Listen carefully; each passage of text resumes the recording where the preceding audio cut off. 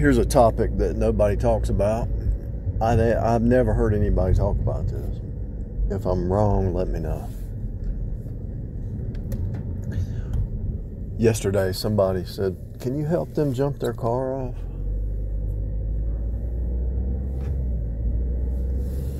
I said, I don't think so. I didn't say it that way, but I said, No, I don't use my car like that. My car is a business. I don't use it like that.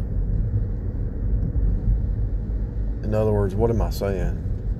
I'm saying that this person who's a transient traveling isn't holding a stable job, doesn't pre plan, and every five years buy them a new battery, wants me to sacrifice instead of them calling AAA or you I've seen it a thousand times. You know, if they want to pay me, yeah, I'll do it. But they never give you a tip or anything.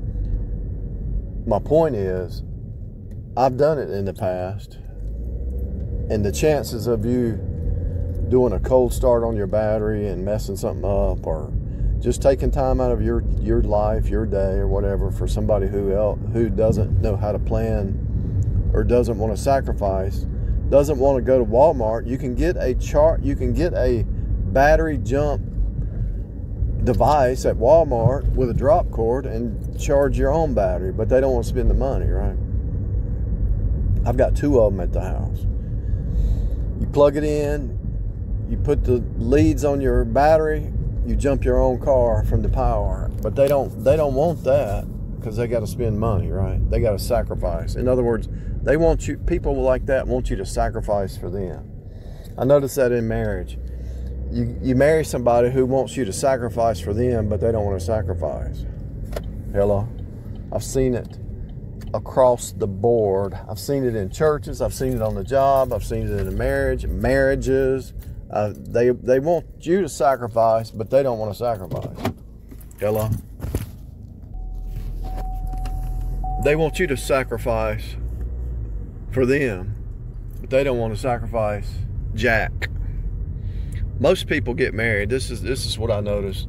Most of them they get married because they want to be on your insurance. They want to travel because of you. They want to vampire off of your strength. And this is what it talks about in Proverbs chapter 31. Oh, King Lemuel, it's not for kings to give your strength unto women that was a warning about the future to come, right? And he didn't listen.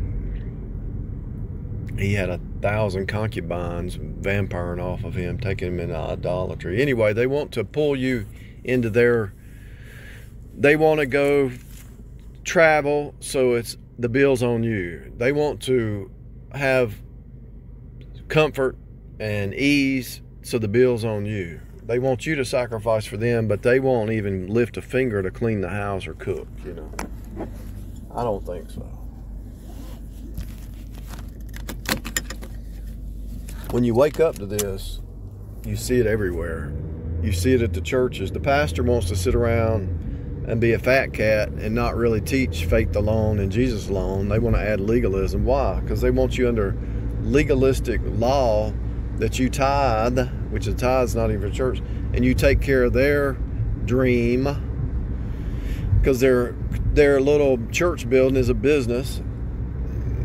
If it was really the gospel, they wouldn't uh, dirty up the water of the gospel, the living water of the gospel with works. You know, they would just say faith alone, but they dirty it up, so you know it's all about self you know they're not sacrificing. They want you to sacrifice so they can just sit there and be a fat cat. So the fat cats want you to sacrifice for them. This is the way the narcissist works. The narcissist is the same way. The devil is the same way. The Pharaoh is the same way. The fat cat is the same way. I had a neighbor uh, across the street when I was younger, I used to change their air filter. And you would crawl under the house, bugs and spiders and dirt, and change the dirty old filter. crawl out, change the filter. Can you change the filter for me? Come to find out they had a million dollar house on the lake and they didn't even offer to give you five dollar tip or nothing like that. Ten dollars back then it was ten dollar would have been legit. They wouldn't even offer anything.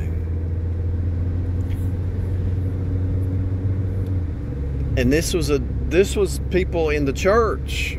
I'm not talking about I'm talking about people in the church. And I'm talking about marrying people in the church who want to vampire off of you and not sacrifice and not be loyal and not be dependable and not tell the truth and put their mama before their husband. Come on now.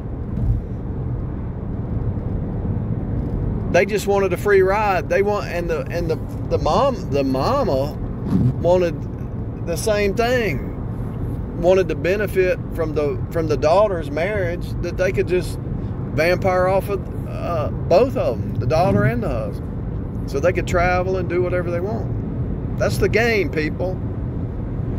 That's the game. They don't want to pay for their own sin. They want you to pay for their sin. They want you to be Jesus for them. We're talking about a brand new truck a high dollar truck and the guy can't even go to Walmart and get him a charger to charge his own battery. Take time out of my day, my energy. I could get blow up my battery, mess up my car. You don't know. I've done it before. I know how to do it. I mean, I went to school for electrical engineering. I know how to charge a battery. But the whole point is, uh, anything could happen. It's kind of dangerous, to be honest with you. Jump starting a battery is really dangerous. To be honest. We're talking about acid, we're talking about voltage, we're talking about high amperage. It's really dangerous. You got a bunch of metal around the the, the hood and the the frame. is a bunch of metal. You just it's really dangerous, to be honest with you. It's only by the grace of God people hadn't more people haven't got hurt charging batteries, to be honest. Anyway, long story short, this is the game of the narcissist. This is the game of the Jezebel. This is the game of the Delilah. This is the game of the person who wants you to sacrifice for them, but but they won't sacrifice for you. You know how many years I've been uploading for free? And people benefit and listen and grow, but they never donated. Hello, typical. I sacrifice to get this information out there. I do the studies, I throw it out there, and I've had maybe one or two people who couldn't even really afford it donate. it's crazy. They'll get their rewards in heaven. They'll get their rewards down here. But you know, it's it's really a trip to see whether it's a coworker, whether it's a Uber rider, whether it's a a, a, a wife or a neighbor. They they want you to sacrifice for them, but they won't get up out of bed and go to work. They won't work two jobs. They won't work two jobs for nothing. And the reason they're able to do that is because they don't have any truth, they don't have any conviction, and they love to lay in the pig pen and and be beside everybody else who's in the pig pen and just wallow around in the mud and expect you to be like them. But when God calls you out, you know the only way you're going to rise up out of these pig pen people is to sacrifice, you know and actually you can make money off the off the sin of other people if you really think about think about a lawyer. A lawyer is making money off sin. The ceo of bud light budweiser is making money off of sin. The ceo of uh, the cigarette companies the beer companies making money off of sin You can make money off a person's sin, you know. But if you let them, if you let them, uh, if you let them do their sin without a without a fee, in other words, if I was to take these uh, Uber riders around without a fee, hey, can you can you add a stop? I'll, I'll give. Uh, can you? And anytime they say, well, I'll give you some cash, they're not going to pay you. They don't have any money. That's why they didn't add the stop to begin with, because they're trying to get somewhere because they only had ten dollars in the in the in the app, and so cost them seven, eight dollars. They're not going to tip you. They're just lying to you.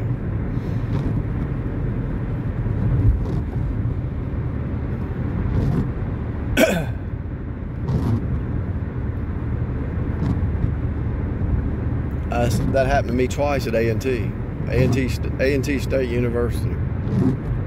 Two women. Hey, if you take me over here, I'll give you extra five dollars. They ain't gonna pay you five dollars. They they can talk a big talk, and they're nice as all get out. I mean, they're nice because they're manipulators. They're master manipulators. The woman, you, you say you have these goals, and this is what you're what you want to do, and the woman talks a big talk, says, "Yeah, I agree with that." And then as soon as you marry her, she changes. She does a change up on you because she was lying. She was a liar. She couldn't follow through. I remember one time, wife says, "Well, I'm going to recycle. Let's recycle." I said, "That's fine." I knew she wouldn't follow through with it because I just know I knew I learned her character. It didn't take long to learn her character. Let's recycle. See, in other words, they want you to go along with them, but they don't want to recycle. They want you to do it for them. Why would she say, let's recycle when she wasn't going to do it and wanted me to do it? Because it was a. It was a, a show, an outward show to other people. We're recycling. She wasn't doing jack. It's outward show we're going to recycle the ultimate narcissist. She didn't want to recycle. She wanted me to recycle, but she wanted to put the image out there that she was recycling because it's uh, the word. I forget. I always forget this word, but it's because I don't, I don't even think like that. But the word is so obvious. Virtue signaling. She was. She wants to say we're recycled. She's lying. Actually, was lying to herself these people lie to themselves. We, I'm recycling. No, you're not. I'm doing it for you. You hadn't, you haven't lifted a finger to recycle. And then when I don't go along with it, you throw a fit and act crazy because you can't virtue signal because I'm not going along with it. Let's boycott Kmart. Whatever. Okay, that's fine. Next day, I need some toothpaste. Well, we'll have to go over here because you're boycotting Kmart. No, but we'll have to go over here. I didn't say, well, we can go to Kmart. I thought you were boycotting Kmart. I revealed her virtue signaling to her face, and she couldn't deal with it because she was lying to herself. Lying to herself. How many people are lying to themselves with virtue signaling? Come on now. Somebody needs to wake up.